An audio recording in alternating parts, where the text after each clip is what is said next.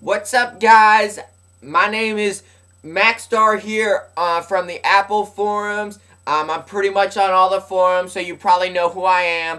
Uh, I just got my Apple recall returned, and I am so excited, and I'm going to tell y'all why. So, let me just take you through the motions. I've got it. I've got my iPod already plugged in right here. Uh, uh, so I'm not going to put it back in the box. You know, I'm not going to play no games with you because I want to show you what's going on here. All right.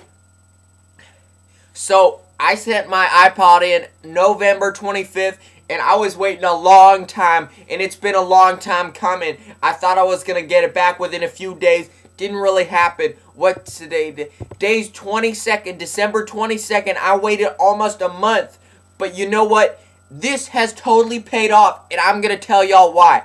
All right, so I got uh, I got the delivery about 10:30 this morning uh, on Thursday the 22nd. Uh, I just opened it up, you know, did the whole opening up thing, uh, cut the tape, uh, and then I peeled this back, and uh, you'll never guess what I found in there. See, I thought this this is what my thinking was. I yo, I thought that they were gonna get me.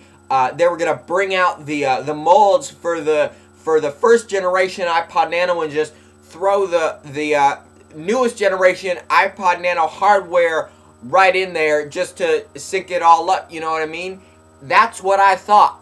That's what I thought, and I think that would be sufficient. You know, Apple put Apple put its customers through kind of a struggle, kind of the stress of having this having this battery problem, you know?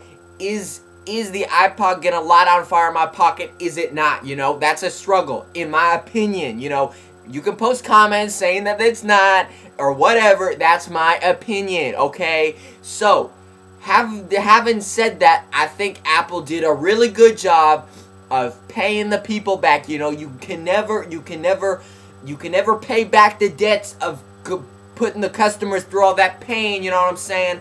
But this was really good. Let me show you why. Bam! Boys and girls, look at that. I got a new iPod Nano. My iPod Nano, guess how much room was on it? Exactly. It was 2 Gs, baby. But this is 8 Gs. That's what I'm talking about.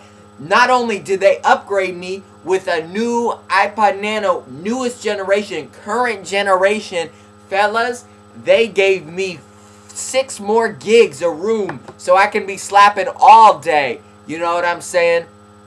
Apple, this one goes out to you. Uh, Merry Christmas, Happy Holidays, y'all stay safe. And if you get this before the 25th, Christmas is going to be coming early for you because this was a surprise for me and this was a surprise for all those folks on Apple forums who were real active about this saying, oh, it's just going to be a first generation iPod Nano and that's just what the replacement's gonna be. Nah, this is current generation, baby. We're in the 21st century, you know what I'm saying? Alright, y'all, stay safe, happy holidays, and enjoy the new year cheer.